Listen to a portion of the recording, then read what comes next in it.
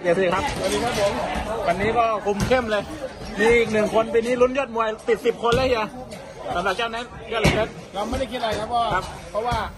ปีนี้เราโดนโกงไปหลายเที่ยวครับ ถ้าเราไม่โดนโกงเนี่ยผมรู้แน่นอนยอดมวย แต่เราโดนโกงไปหลายเที่ยวครับสัญจรโดนโกงตลอด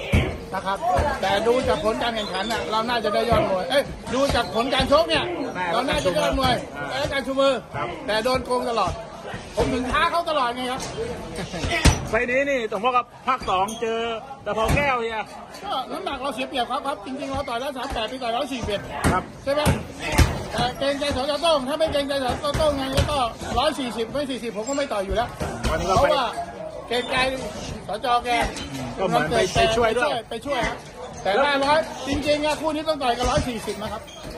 ครับผม แล้วร้อยสี่เฮียมองว่ายังไงบ้าง เราเราเล็กครับเราเล็ก ครับ เราเล็กแต่ถามว่าตอนนี้พี่เด็กเก้าเปิดสู้ทุกตัวอยู่แล้วต้นต้นๆมีโอกาสกดลงไหมเฮียไอ้กดไม่ไอ้กดไม่ลงครับ แต่เน้นเตะขาอยู่แล้วอ๋อนั่นเตะขาก่อน เตะขาเอาครับผม ฝากเฮียฝากแฟนคลับนะครับ วันที่สิบแปดนี้ยอดเหล็กเพชร